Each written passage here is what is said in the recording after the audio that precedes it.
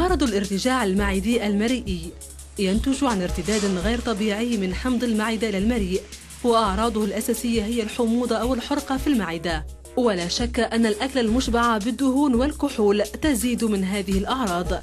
العديد من الأشخاص وخاصة من المسنين يعانون من هذا المرض الذي قد يؤدي أحيانا إلى قرحة في المعدة أو حتى سرطان المعدة.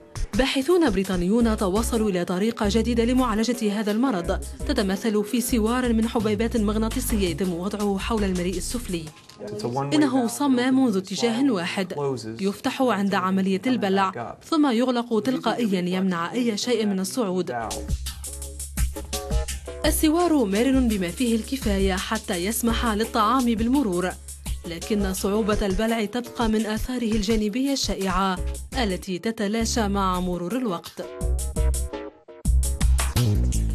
قوة جذب هذه الحبات المغناطيسية تسمح للعضلة العاصرة في أسفل المريء الضعيفة بالانغلاق في الجزء السفلي من المريء. حوالي 100 شخص يعانون من مرض الارتجاع المعدي المريئي جربوا هذا السوار وأبدوا رضاهم عنه.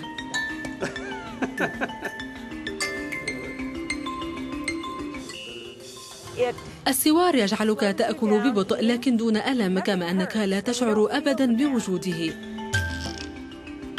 وضع هذا السوار يتم عن طريق عملية جراحية سريعة وبسيطة تتطلب ثقبا صغيرا.